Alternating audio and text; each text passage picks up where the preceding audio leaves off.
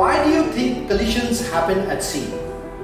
While there are many reasons to it, one of the main reasons of collisions at sea is because navigators are unable to take correct or timely decisions of collision avoidance.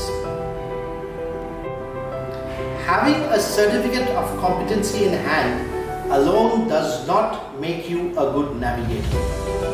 In order to excel in navigation, you must have a thorough understanding of the rules and interpret the rules positively when it matters the most.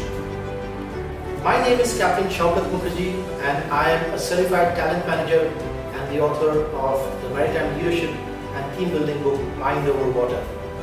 I am bringing to you this amazing three hours workshop on collision avoidance in conjunction with the maritime expert Captain Yashwant Chhabra. Good day all.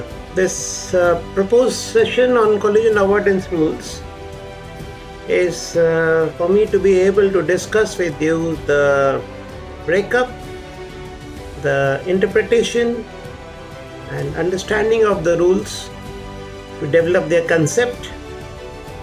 It's got two pronged strategy. One is to pass the exams, which is uh, primary purpose for students. But more important is how we apply them at sea. And all the work which I've done over the years, I would love to share with you in this uh, guest invitation. And I hope you all will enjoy the discussions which take place. Thank you. So how is this three-hour workshop on collision avoidance going to help you in your career? Number one, for all those who are preparing yourself for the certificate of competency examinations or orals, this is a must-do workshop for you.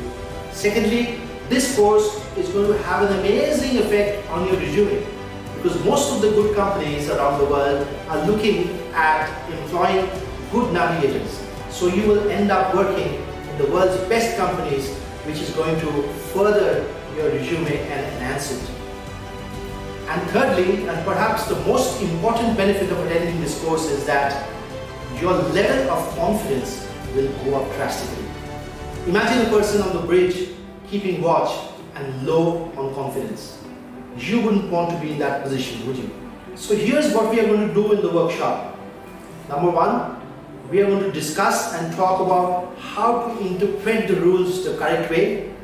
Secondly, we are going to do some amazing case studies of real life incidents and find out what went wrong and why the ships collided.